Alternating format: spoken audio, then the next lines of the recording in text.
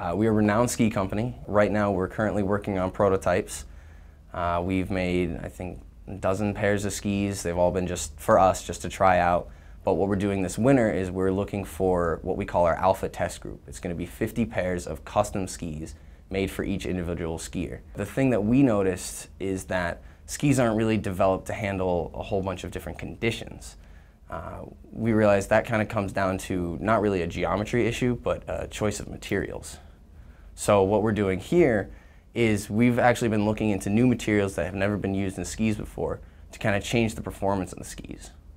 Uh, the company has been co-founded by uh, six other individuals, myself. We actually started our sophomore year. Uh, we would come back from ski trips, we would all go together, and we realized that we wanted to make skis ourselves, and we realized that that type of condition acceptable ski, that, that self-adapting ski that will be great for all conditions is what we wanted to make. And that that's kind of how we got started is we just started looking into how can we make that ski, how can we improve it, what do we want to make? And it's, it's been a long process, but we're getting a lot closer. That's when we went to talk to the Shipley Center. We came to them with an idea of how can we make this happen?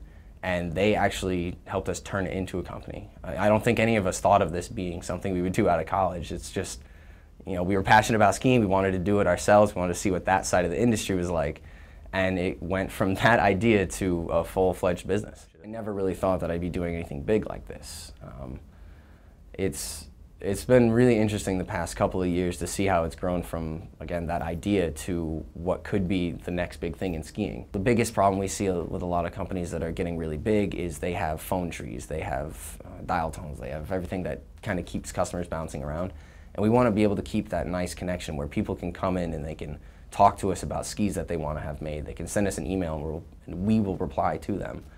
Um, so keeping a small customer base will be really helpful for that. But just in general, we want to have that good connection with people who want to ride our equipment. I think the first thing we want to get out is that idea that we have a self-adapting ski, that we have a ski that's essentially smart technology. It, it, responds to not only conditions, but how well the skier is riding, how hard he's riding.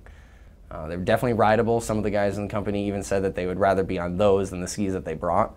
We're really excited about what's going on. Uh, just this past weekend, we got t-shirts finally printed. Uh, we're working on getting more stuff ordered every day, uh, and we're building up that alpha test group. So if you know anyone that's interested in getting a pair of custom skis made for relatively cheap, um, let me know.